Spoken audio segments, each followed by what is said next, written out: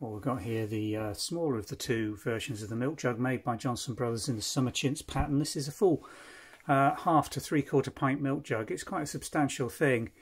Um, let me just show you over it. In absolutely fine condition, lovely rotated rib wall mouldings that they used here.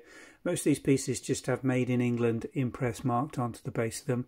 Although this one has actually got something additionally scratched in. It must be a batch number or something that's been put in. Quite unusual that but uh, of no particular relevance to its value or date, unfortunately. There's no uh, records of what those meant. They were just internal marks put on by the potters as these were being produced in Staffordshire by Johnson Brothers.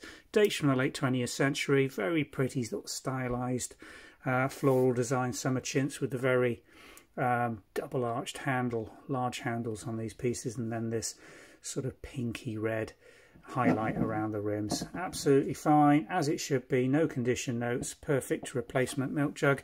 Got two of them available, I think, in this size. Follow the link below. It'll take you through to the Vintage and Antiques website listing for these two pieces. Thanks for watching.